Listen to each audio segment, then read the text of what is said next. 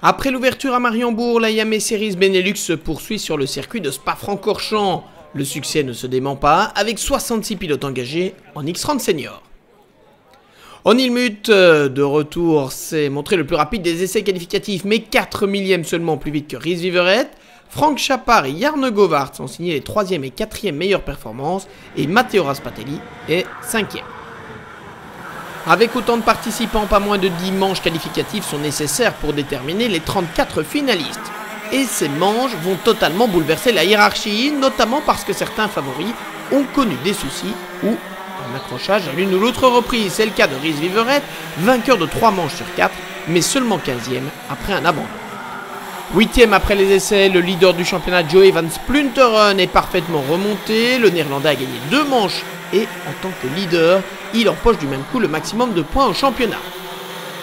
Très régulier, Olivier Palmar se place au deuxième rang. L'ex-pilote de la catégorie X30 Super Shifter confirme donc qu'il est bien dans le coup en senior également. Il a notamment devancé Jarne Govart, qui était déjà dans le top 5 des essais et qui confirme sa bonne forme avec cette troisième position.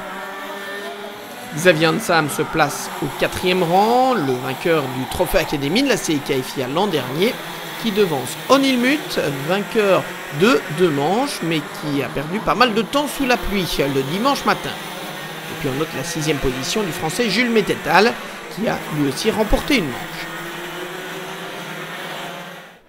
34 pilotes sur 66 ont atteint la finale et celle-ci s'annonce explosive. Joe Van Sprinteren, le néerlandais leader du championnat, est en pôle devant Olivier Palmars. Deux pilotes d'expérience donc, Jarne Govart et Xavier Sam, se trouvent sur la deuxième ligne.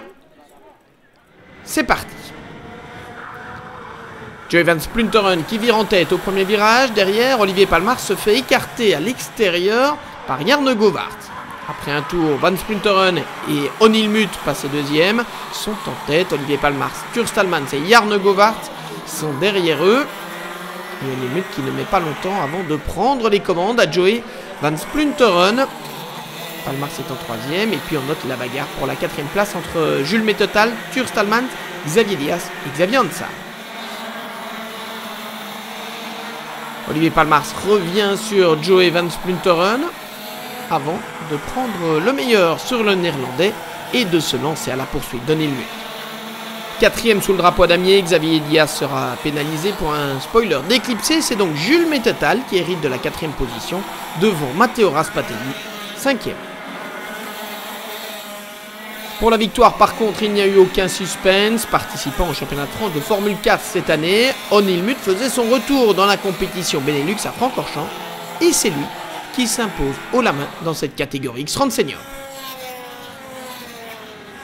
Au début c'était un peu compliqué parce que euh, je savais pas si j'avais fermé les portes ou pas. Après euh, il y a eu un trou et je suis remonté sur, euh, sur le leader.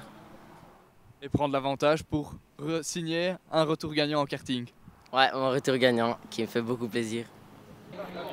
L'Ayame Series Benelux entamera sa deuxième partie de saison les 21 et 22 juillet à Genk, où on attend une fois encore beaucoup de spectacles.